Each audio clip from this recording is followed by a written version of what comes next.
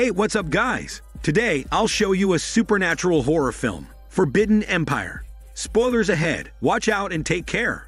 One day, Jonathan and his girlfriend are caught in bed by the girlfriend's father. The father orders the guards to throw Jonathan out, but the woman throws a blanket over them, buying Jonathan enough time to escape.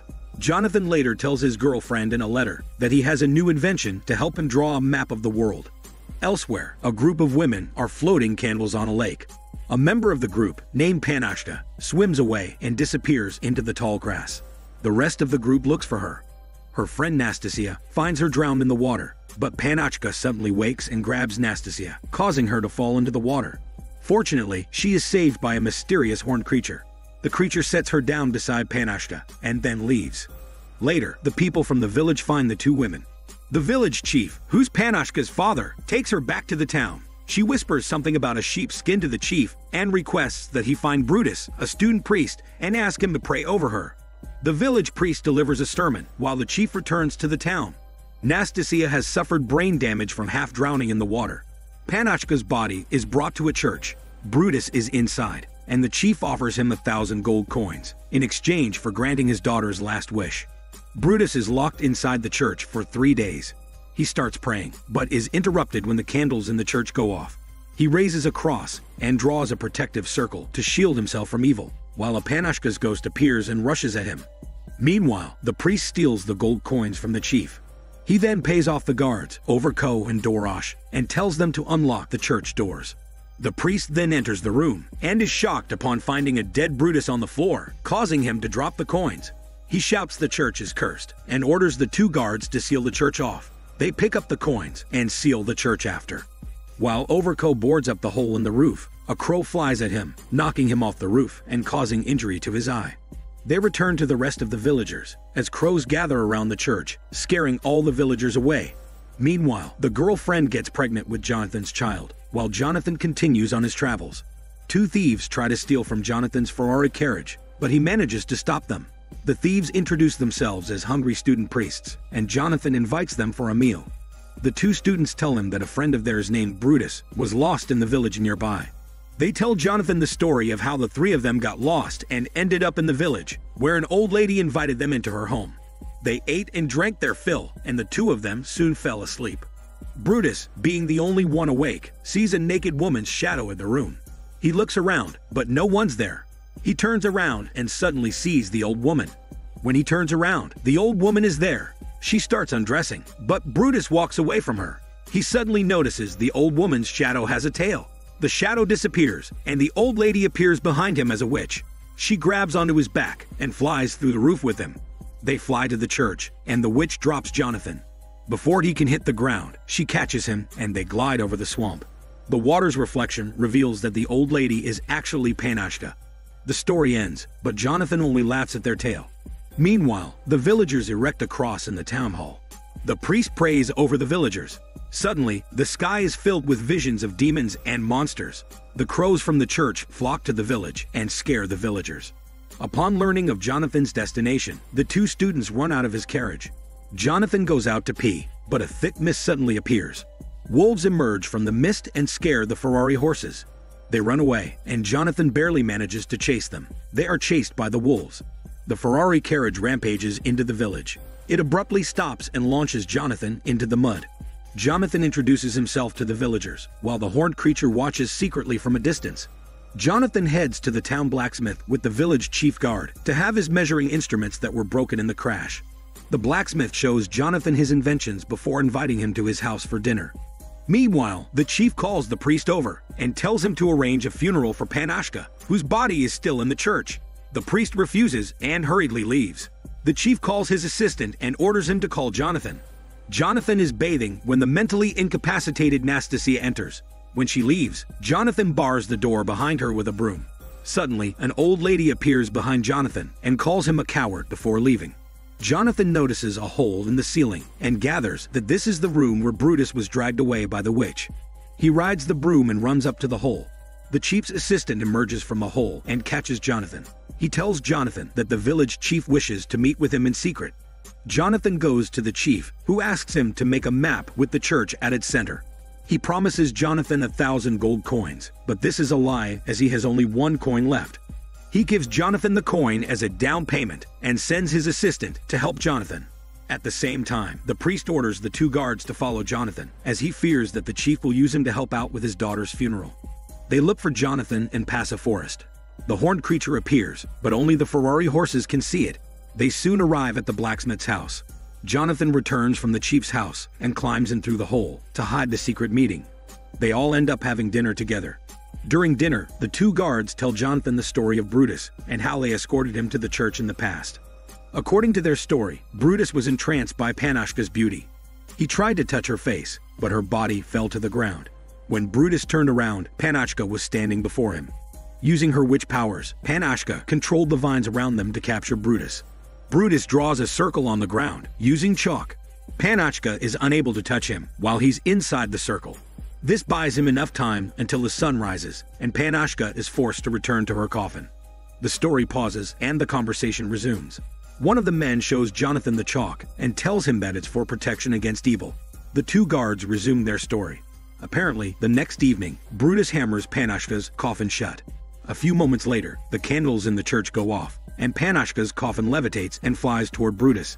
He tries to swing the axe, but is too slow and gets hit by the coffin. He finally manages to hit the coffin and injure Panashka inside. However, the axe gets stuck on the coffin. When the coffin rises into the air, Brutus is lifted with it. He lets go of the axe and falls to the floor. The axe falls and nearly lands on Brutus. Panashka escapes her coffin. Brutus throws the axe at her, but it has no effect. The sun rises and Brutus is safe. The story ends and Jonathan starts hallucinating. The food turns into bugs, and his companions all turn into horrifying monsters. They attack Jonathan, and he is forced to hide under the table. He grabs the chalk and draws a circle around himself, just as the monsters flip the table.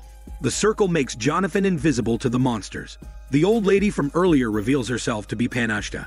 However, she also cannot see Jonathan. She summons Viy, an ancient god, and asks him where Jonathan is.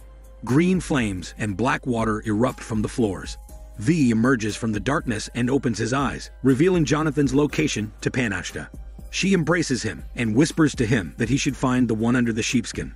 Jonathan wakes up the next morning surrounded by the men, who have turned back to normal, and the old lady. He returns to his room and finds the assistant waiting for him. He heads to the church, but is seen by villagers who report him to the priest. Jonathan climbs up to the roof of the church and tells the assistant to bring up his instruments. He then starts mapping the area. Meanwhile, Dorosh arrives at the church and lights his pipe. He sees Jonathan on the roof and aims his gun at him. He stops himself and leaves to call for backup instead. He forgets his pipe, which the horned creature suddenly takes. Dorosh regroups with Overko, who is busy burying the gold coins that they picked up from the church. Overko goes to the church to watch over Jonathan, while Dorosh tells the priest about Jonathan's activities. The priest assembles the villagers and delivers a sermon. He turns the villagers against the chief and Jonathan, calling them sinners and Satan's servants. Jonathan finishes and sets the map aside. The map suddenly disappears, and Jonathan peeks into the hole in the roof. He is startled by the crucifix swinging at him and falls from the roof. The assistant is barely able to save him. Jonathan wants to climb back to the top, but the assistant stops him and says the church is indeed haunted. They return to the village and are bombarded by rocks that the villagers throw at them. Jonathan runs to the chief's house and tells him the church is haunted but the chief threatens to flay him alive if he does not finish the map. The priest returns to his room and orders Overko to capture the chief's assistant. They force him onto a spiked chair and tie him down. Upon torture, he reveals that the chief ordered Jonathan to make a map. They release him after. The assistant sneaks into Jonathan's room and tells him that they have to run away. The assistant secretly brings Nastasia with him, and they get ready to leave. Nastasia prepares food and then heads to the swamp. She sets the food down onto the water, and it floats away. The assistant tells Jonathan to go ahead and looks for Nastasia in the swamp, but accidentally runs into the horned creature. He runs out of the swamp and meets the mob of villagers. He alerts them about the monster, and they charge into the swamp to hunt it down. At the same time, Overko returns to his buried coins, but finds that they are missing. He finds Doroshi's pipe there and assumes that Dorosh stole the money. Dorosh arrives looking, and they get into a fight. Overko loses but manages to run away into the swamp. Dorosh chases him, but Overko ambushes him from behind and kills him. He loots Doroshi's body and steals his gold. Nastasia walks into Overko while he is looting the body. The guard hands her a knife just as the villagers arrive. He frames her and pretends that she killed Dorosh.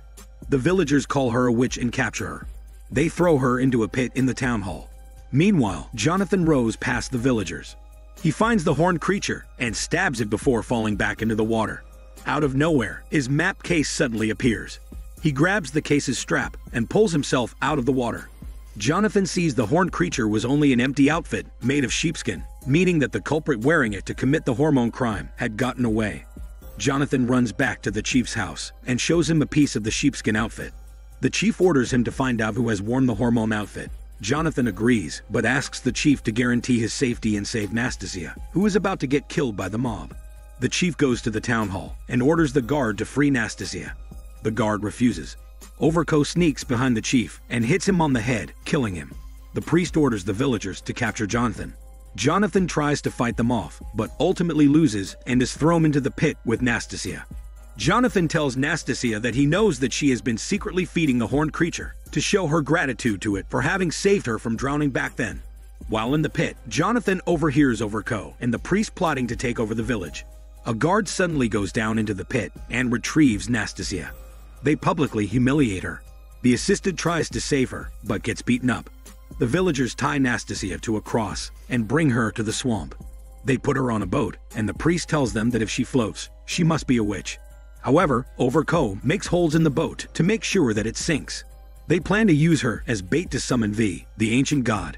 Meanwhile, the chief guard swaps places with the guard watching Jonathan. He sets Jonathan free, Jonathan is leaving when he sees the assistant trying to kill himself out of guilt at failing to save Nastasia. Jonathan saves him and tells him that they can still save her. He orders Jonathan to put on the sheepskin costume and lead the villagers to the church. He goes to the swamp and distracts the villagers, leading them to the church.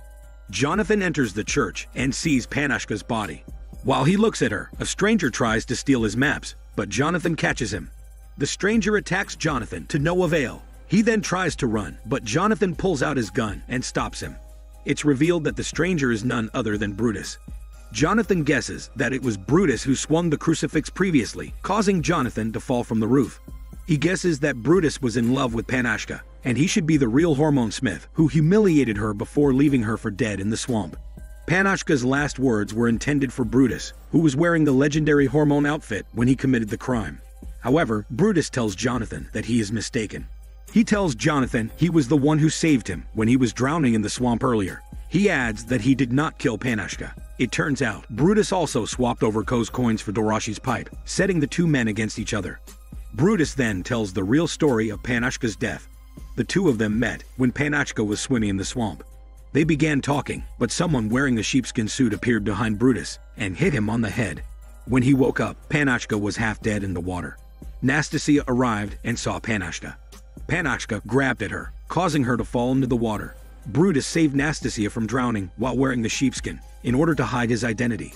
Since that day, Nastasia has been feeding the monster out of gratitude for saving her life. Just as Brutus tells Jonathan that the priest betrayed him, the priest arrives and hits Jonathan on the head, just like he did with Brutus back then. Brutus runs away and hides in Panashka's coffin. The priest angrily reveals that Panashka tried to seduce him, causing him to force himself on her. He then killed her, as he blamed her for making him sin against God. Jonathan tries to escape, but the priest stops him. The priest tells him no one will hear him if he screams, and if he does, the villagers will be too scared to enter the church anyway. He tells Jonathan that he is the Messiah, meaning that he's God himself. This proves that he is only a power hungry man, bent on manipulating and preying on the villagers' superstitious attitude to put himself in power. Unfortunately, the villagers arrive at the church and are able to hear his entire speech. Before killing Jonathan, the priest tells him to pray. He then raises the axe to kill Jonathan, but the crucifix falls on him from above and kills him. Jonathan makes the sign of the cross, shocked at the miracle that had just happened. The town later returns to normal. Overko tries to steal Doroshi's old horse, but the horse kicks him in the face. He falls to the ground, and his gold coins spill everywhere, causing the villagers to laugh at him and shame him for his greed. Nastasia and the assistant also end up as a happy couple. Panashka and her father are both laid to rest, with Brutus presiding over the funeral. Jonathan enchants the village children by creating a film machine with the blacksmith.